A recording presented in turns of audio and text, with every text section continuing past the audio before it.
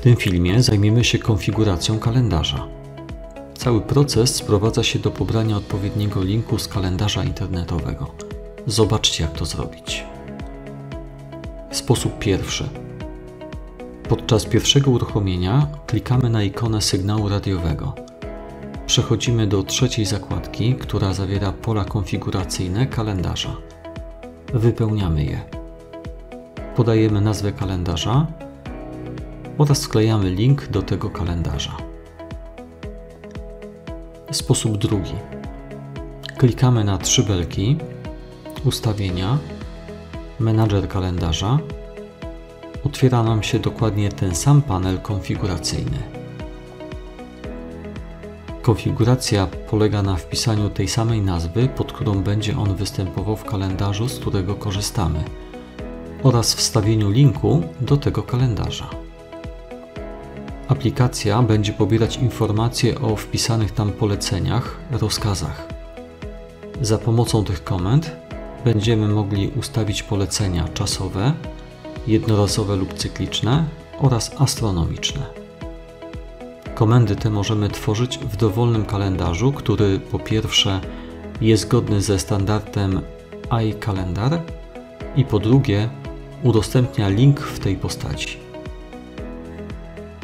Najczęściej będzie to kalendarz Google, iCloud lub Outlook. Zaraz pokażę, jak utworzyć taki kalendarz i jak pobrać do niego odpowiedni link. Nie musimy tworzyć nowego kalendarza. Można zapisywać komendy w bieżącym kalendarzu. Link pobieramy tak samo. Jednak dla większej czytelności i przejrzystości zalecamy utworzenie oddzielnego kalendarza do sterowania automatyką domową. Jeśli są problemy z uzyskaniem tego linku na urządzeniu mobilnym, to musimy go pozyskać z poziomu komputera, skopiować i przerzucić na urządzenie mobilne, na przykład wysyłając sobie mailem.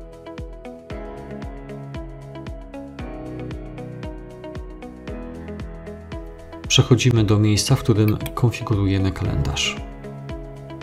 Nadajemy nazwę dla tego kalendarza.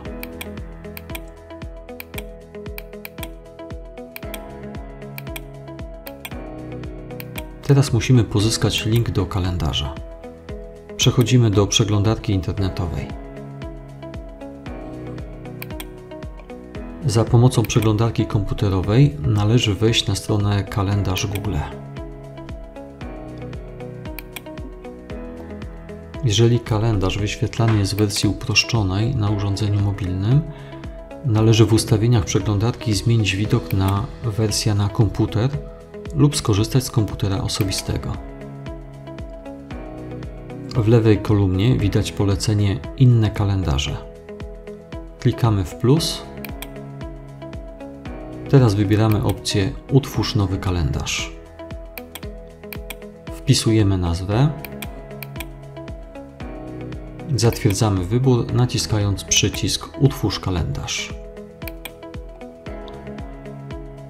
Teraz musimy uzyskać link dostępu do kalendarza.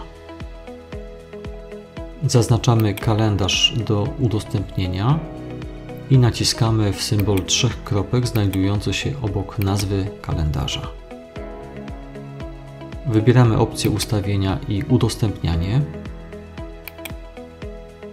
Po rozwinięciu ustawień kalendarza należy wybrać z listy z lewej strony opcję Integrowanie kalendarza. Następnie w polu pod tytułem Tajny adres w formacie iCal kopiujemy tą zawartość naciskając przycisk Kopiuj. Adres ten wklejamy do aplikacji Fox.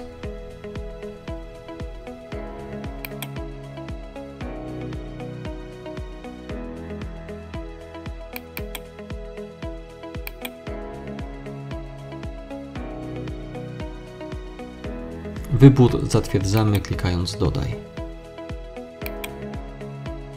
Gotowe.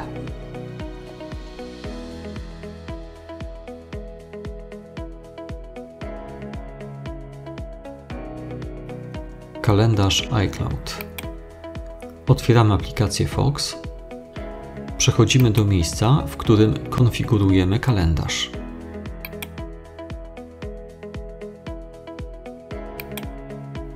Nadajemy nazwę dla tego kalendarza, którą później użyjemy do utworzenia nowego kalendarza.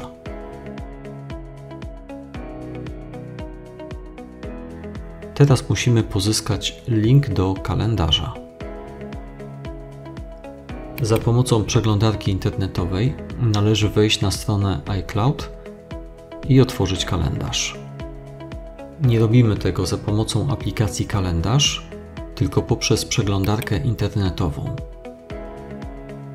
W przypadku korzystania z telefonu lub tabletu należy wejść w ustawienia przeglądarki i zaznaczyć opcję Wersja na komputer.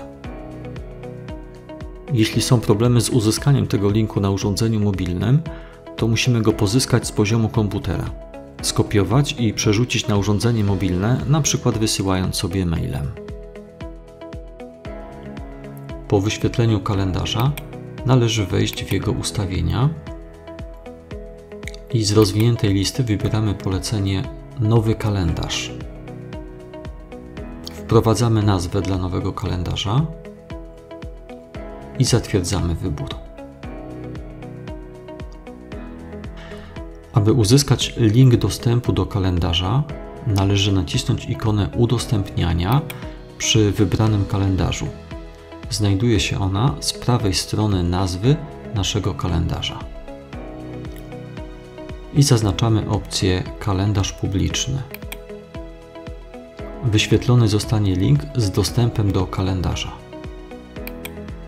Link ten kopiujemy i wklejamy do aplikacji Fox.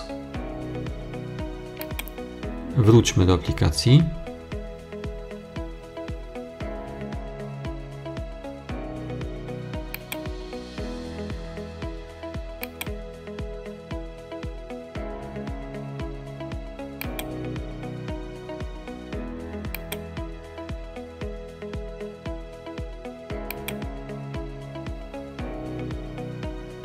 Dodajemy link do kalendarza. Zatwierdzamy klikając Dodaj. Gotowe.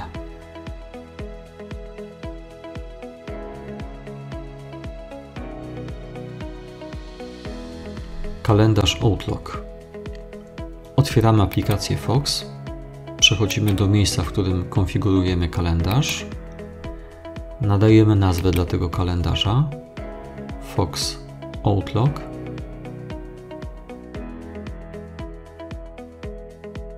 Teraz możemy pozyskać link do kalendarza. Przechodzimy do przeglądarki internetowej. Urządzenia Fox można połączyć wyłącznie z internetową wersją kalendarza Outlook. Za pomocą przeglądarki komputerowej należy wejść na stronę kalendarza Outlook. Wybieramy kalendarz. Jeżeli kalendarz wyświetlany jest w wersji uproszczonej na urządzeniu mobilnym, należy w ustawieniach przeglądarki zmienić ustawienie na wersja na komputer lub skorzystać z komputera osobistego.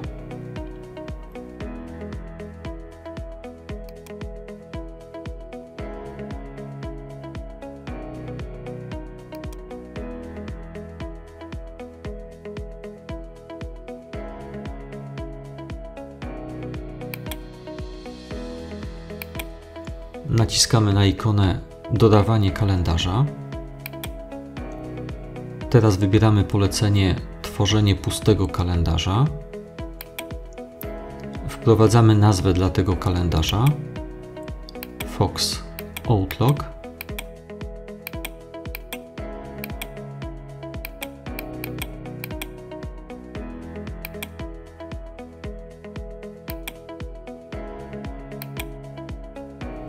Zatwierdzamy wybór naciskając przycisk Zapisz.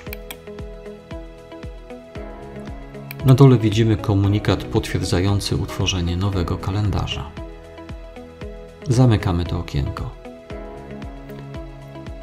Teraz musimy uzyskać link dostępu do utworzonego kalendarza. Klikamy w prawym górnym rogu w trzy kropki lub ikonę ustawień Następnie po rozwinięciu listy ustawień należy wybrać opcję Wyświetl wszystkie ustawienia programu Outlook. Po rozwinięciu ustawień należy z listy po lewej stronie wybrać kalendarz.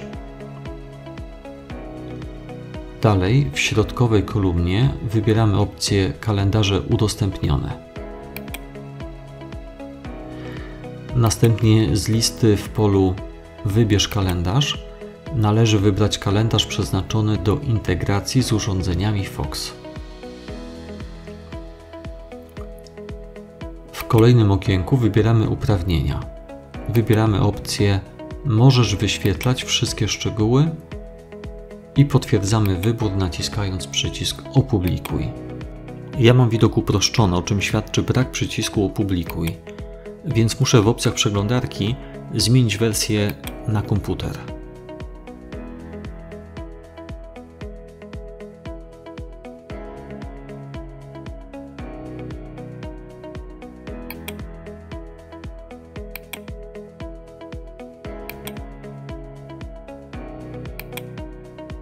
Po naciśnięciu przycisku Opublikuj wygenerowane zostaną linki udostępniające kalendarz. Do integracji z urządzeniami Fox potrzebny jest link do kalendarza w postaci pliku ICS. Kopiujemy link.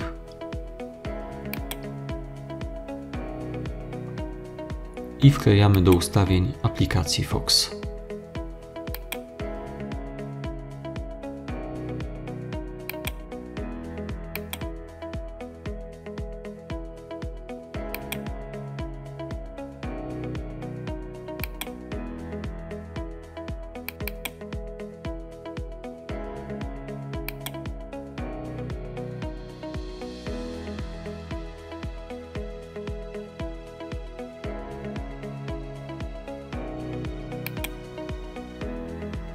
Wybór zatwierdzamy klikając Dodaj. Gotowe.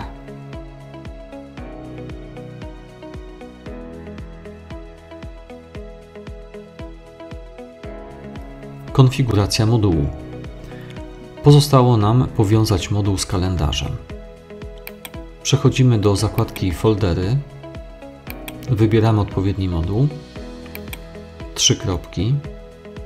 Zaawansowane opcja kalendarz. I w polu poniżej wybieramy, z którego kalendarza moduł będzie korzystał.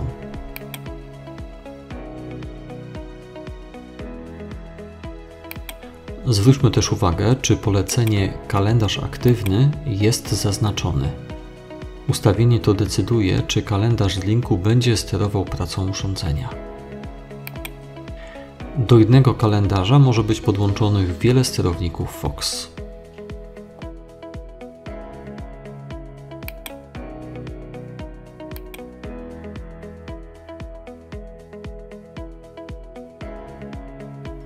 Bezpieczeństwo danych. Urządzenia Fox uzyskują wyłącznie jednokierunkowy dostęp do kalendarza, który umożliwia tylko odczytanie zapisanych tam danych.